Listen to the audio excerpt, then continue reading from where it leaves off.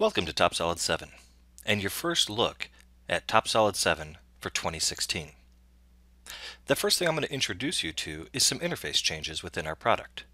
For example, I'm going to open up just a simple part design file. We're always working diligently to try to simplify our interface to make an even easier experience for all of our end users around the world. In this case, I want to point out a change made to the Tools tab.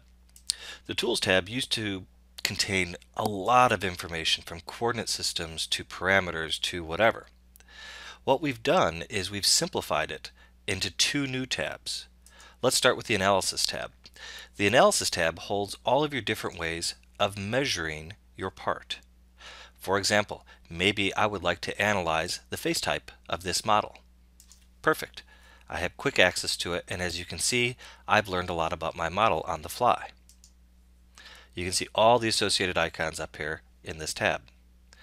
Next you have your construction tab. Now the construction tab was made to make it simpler for you to create your parameters, your points, your axes, your planes, your frames, take a screenshot, make some repetitions, and some patterns.